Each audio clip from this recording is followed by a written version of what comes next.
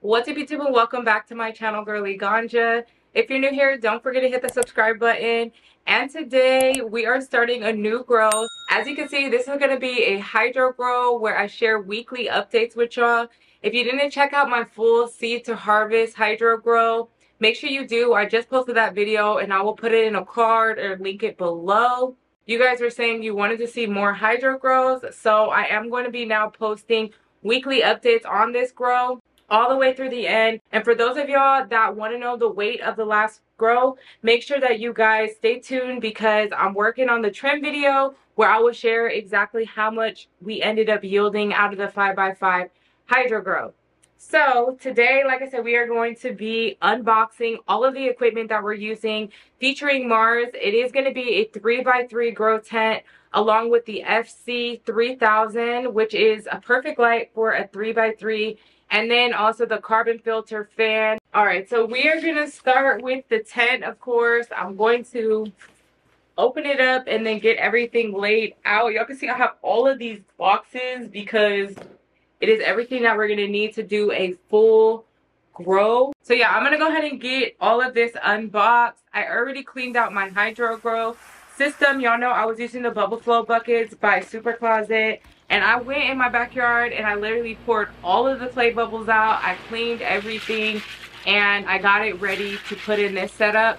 I just don't know how many of the buckets will fit in here. So I'm really eager to get it set up to see how big it'll be and to see if I'll be able to fit four of the buckets again or if we'll only go with two. So let's get this tent unboxed. Um, Thank you to Mars Hydro for sponsoring this grow. If you want to continue to see hydro grows on the channel, make sure you stop right now and hit that like button. It really supports not only the channel, but grows like these. I appreciate you all and can't wait to continue to share my grow journey with you. So make sure you stay tuned. All right, y'all. So I have everything laid out. It obviously comes with the poles and then the shelves and a grow tent user manual. I'm actually a professional at putting this together. It's super easy. Two seconds later. Okay, okay. There's nothing wrong with getting help. Let me know in the comment section if y'all ever built one of these tents by yourself, because I definitely have. But in this case, my husband helped me, so shout out to him. All right, so we got the whole outer frame put together. And voila! Your tent is put together. All you have to do is zip it up. She is all set up, so I'm going to go ahead and get the light unboxed now and get all the carbon filter and everything ready so we could just set her up. All right, so now we're going to unbox the light, which I'm really excited to see it. This is the FC 3000. So here she is. Like how she comes pretty much already put together. Just like the perfect size for a 3x3. It's a square light. Y'all know I used to use the SP3000, which was my closet grow light that I was using for a really long time. So I can't wait to see how this one does. So we're going to put the light together. While we're doing that, I'm going also open up the carbon filter and fan. So I ended up going with a 4-inch fan since this is just a 3x3 and here is what she's looking like. I love that they also have this controller so I can see the temperature and control it from the outside.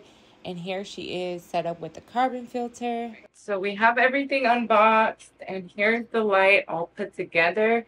So I'm gonna go ahead and get it in the tent, put this all in there, and then I'll show you guys what it looks like once it's all set up. So here's the 3x3, y'all. It is looking good. I can't wait to see if I'm able to fit two of the bubble flow buckets in there or if we can only do one. I'm not sure yet, but I'm about to put that in now as well. And then I'm going to put the reservoir on the side over here.